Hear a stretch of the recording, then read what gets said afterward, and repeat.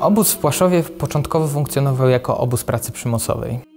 I dopiero w styczniu 1944 roku został wciągnięty w strukturę obozów koncentracyjnych. Więźniów zaczęto lokować na terenie starego cmentarza. Zaczęto niszczyć nagrobki, wyrównywać, plantować teren. Według wspomnień były to bardzo traumatyczne przeżycie dla osób, które znalazły się w obozie, gdzie cmentarz jest e, miejscem świętym, z którego się nie powraca. Niemcy stworzyli drogi obozowe i wykorzystali przy ich budowie tłuczeń pochodzący z nagrobków cmentarnych.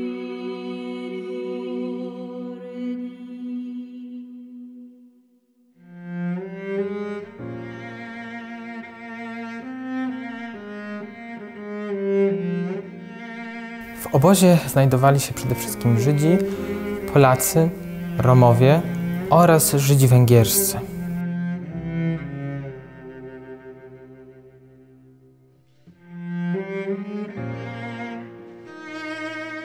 Około 5 tysięcy osób straciło życie na terenie obozu.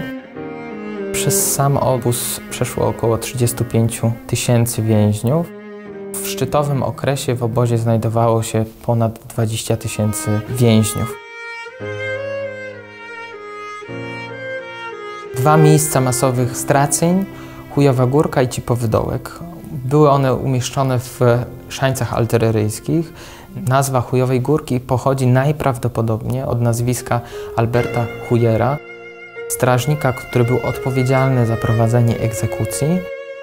Wykonano tyle tych egzekucji i chowano ciała od razu tam na miejscu, że praktycznie cały szanic z fosami został wyrównany, splantowany. I w momencie, kiedy to miejsce zostało wypełnione, przeniesiono miejsce straceń do miejsca, w którym dzisiaj stoi pomnik ofiar faszyzmu.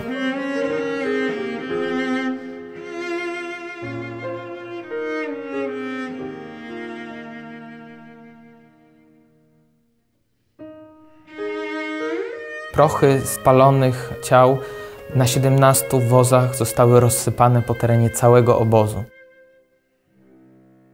Obóz w Płaszowie znajduje się w odległości około 4 km od rynku głównego. Dzisiaj jest to teren zielony w samym centrum miasta.